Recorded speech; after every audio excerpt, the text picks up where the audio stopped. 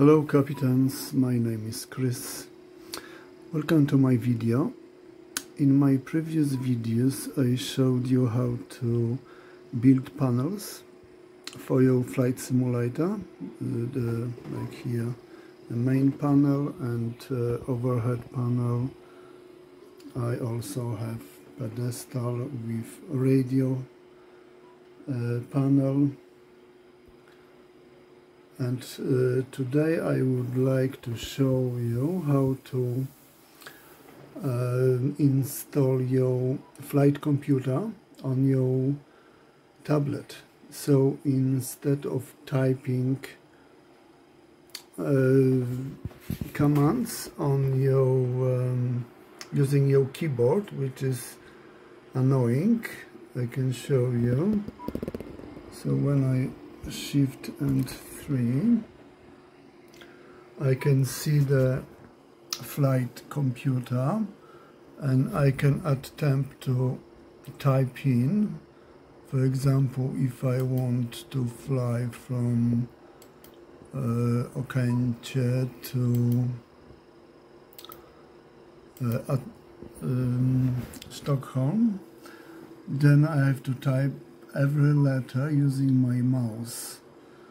So that it's uh, time consuming consuming and uh, just not very convenient.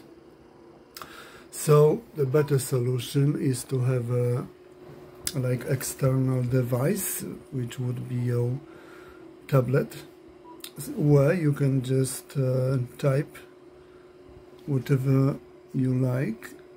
For example Atlanta Stockholm SSA as a route and so on. So it's much more convenient. I show you how to um, set up this device. So it's very straightforward. What you need to do is to go to site called virtual avionics and for not sure how much um, maybe around 50 American dollars you download app for your tablet and also you download uh, application for your home computer. So once you are in your flight simulator you need uh, when you fly you need to start this avionics it's called VA interface. You click on it. So it must be I already have it running. So if I go and open this is the interface where you just uh, edit and you have a drop down screen you select the aircraft you are currently flying. It's very straightforward.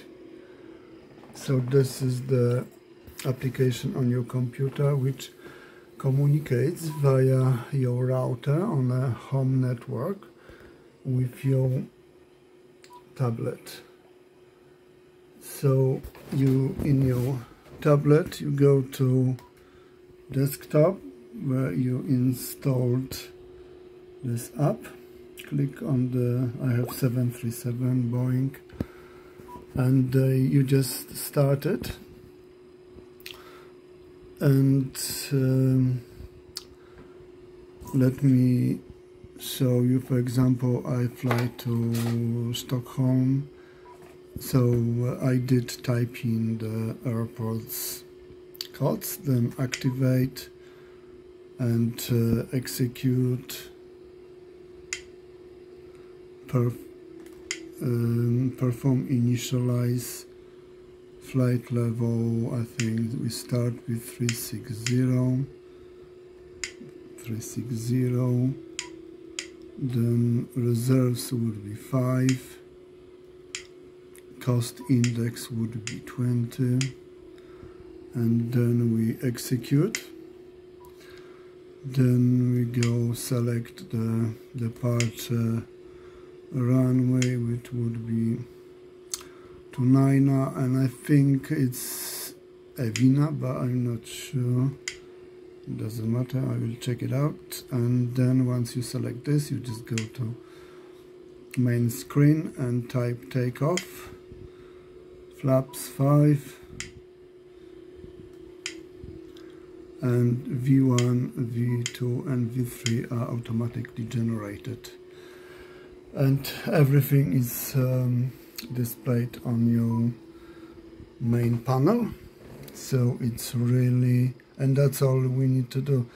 So during the flight when you are instructed by the air traffic controller to uh, for example to shortcut to another um, point then uh, you just need to select for example Evina and put it on the first position execute.